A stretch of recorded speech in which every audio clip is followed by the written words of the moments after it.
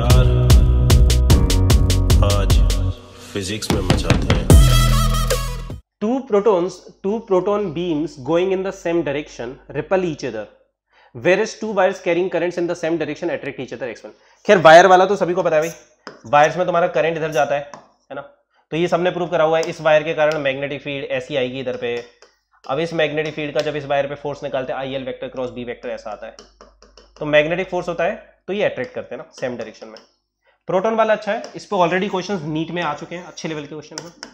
तो जैसे ये दो प्रोटॉन्स है ना, इनको तुमने सेम डायरेक्शन में वेलोसिटी दी, और इसको हमने अपने नोट्स में बहुत डिटेल में डिस्कस करा हुआ है।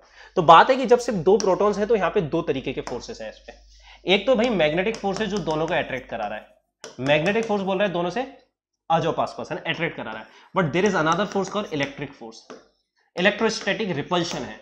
मैग्नेटिक फोर्स इन दोनों के बीच में अट्रैक्शन करा रहा है और इलेक्ट्रोस्टैटिक फोर्स रिपल्शन करा रहा है है ना? तो अब वो अपने पास आएँगे या दूर जाएँगे, वो डिपेंड करेगा कि कौन सा फोर्स ज़्यादा है। और अपन ने ये चीज़ प्रूव करिए कि जब तक ये वेलोसिटी, ये दोनों फोर्सेस बराबर कब होते हैं? हमने पूरा डेरिवेशन करा है।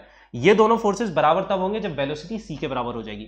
If V equal to C है ना तो तुम्हारा मैग्नेटिक फोर्स, इलेक्ट्रिक फोर्स के बराबर हो जाएगा। पर यह असंभव है। क्योंकि कोई भी मासिव पार्टिकल इस स्पीड ऑफ़ लाइट से नहीं जा सकता। तो मतलब कुछ भी हो पार्टिकल की स्पीड जो भी है प्रो, प्रोटोन वगैरह जो भी है उसकी स्पीड सी से बहुत कम होगी। तो मतलब मैग्नेटिक फोर्स जो होगा वो इलेक्ट्रिक फोर्स से बहुत कम होगा। मैग्नेटिक फोर्स जो होगा वो इलेक्ट्रिक फोर्स से बहुत कम होगा और इस कारण इलेक्ट्रिक फोर्स डोमिनेट करेगा और दोनों रिपल करेंगे। दोनों के दोनों रिपल करेंगे।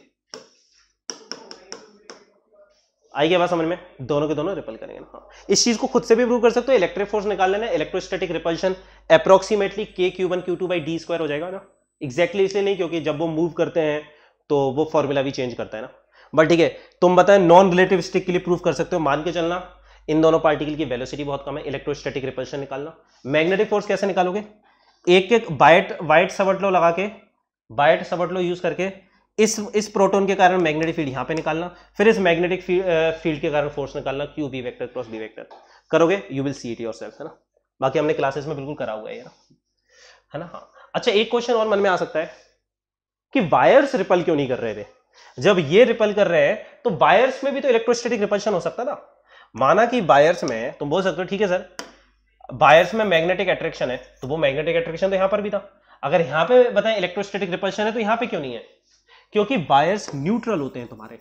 भाई, है ना? यहाँ पे इलेक्ट्रॉन फ्लो कर रहे हैं, पर अंदर उतने ही प्रोटॉन्स हैं। Your wire is overall neutral यहाँ पे सिर्फ़ चार्ज पार्टिकल मूव कर रहे हैं। समझ में आ रही है? तो वायर इज़ ओवरऑल न्यूट्रल तो इस कारण से, इस कारण से तुम्हारा नहीं होगा। आया क्या समझ में? बताओ इस कारण से वहाँ पे इलेक्ट्रोस्टैटिक रिपल्शन तुम्हारा नहीं आना।